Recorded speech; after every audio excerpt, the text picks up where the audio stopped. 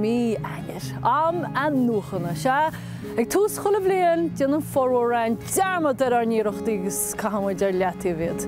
Ach dá le James Sweetman tá bailí practicúla chun clílo agus fannacht ar a móthir ceart.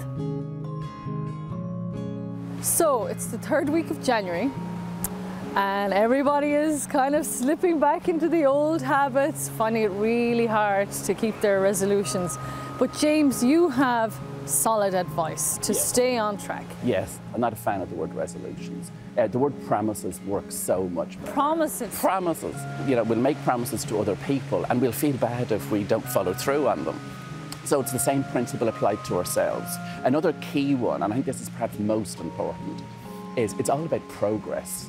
You know, so many of us, Roisin, run a pattern of perfectionism. Like, I'm only doing this if it's going to work out perfectly. You know, oh, I'm going to exercise five days a week, or you know, I'm, I'm going to find that new job. And, and that's terrific. They're noble intentions to have. But it is about making progress. What's measurable steps forward for me? And it's not about being perfect because there's no such thing. And then the last one, when it comes to resolutions or promises or a goal focus, it's, it's making something that's much more personal to you, almost precious.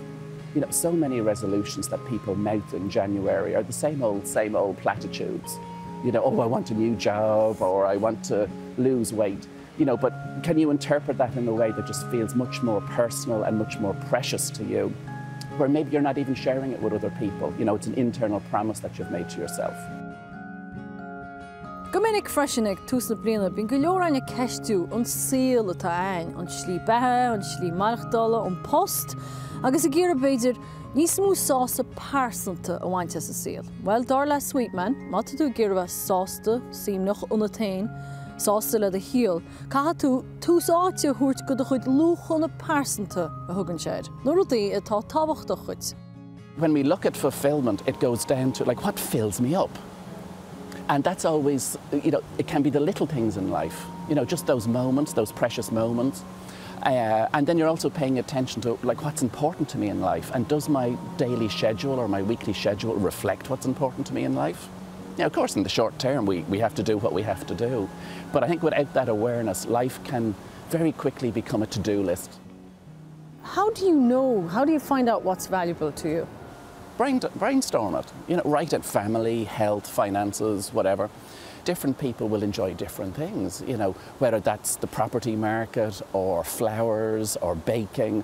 And you might necessarily be aligning that immediately with your profession. But if that's what you enjoy doing, how can you spend more time doing it for the pure benefit of it just makes you feel good? In terms of career fulfillment, the job you're supposed to do, um, can you get fulfillment in a career, in a job? There's a great question that we can reflect on, particularly when we have a bit of experience behind us and we've maybe been in the world of work for a few years. And that question is what do I want my career to do for me? Because that sheds a light on some of the criteria or values that's important to me when it comes to career fulfillment. You know, like most of us will say, oh, I want to be happy in my career, I want career satisfaction. But what does that mean for me? We need to look at the values and what lights me up when it comes to work. Mar sin mátha tú bhfuil tú gola a híal, agus ag lorug freigraí chun chreú, Caha tú a bheith éireach éireach fu tain, agus le i géistecht chuid. I think, Roisin, ultimately what people are after here is a great is a sense of clarity or certainty. You know, am I doing the right thing? And of course, no one outside of you will tell you if you're doing the right thing or not. Your own emotions, your own internal wisdom uh, will, will let you know. They will be the, the guidelines. But if we're looking for greater clarity, there's a few other C words we pay attention to. Uh, the first one is curiosity. You know, what's possible for me? Just a little bit of wider thinking so that we think ahead maybe over the next year, two years, five years, what's possible for me? And contrast is something that life gives us all the time. And by contrast, I mean, what do I want more of? What do I want less of? What do I really enjoy? What do I want to steer away from?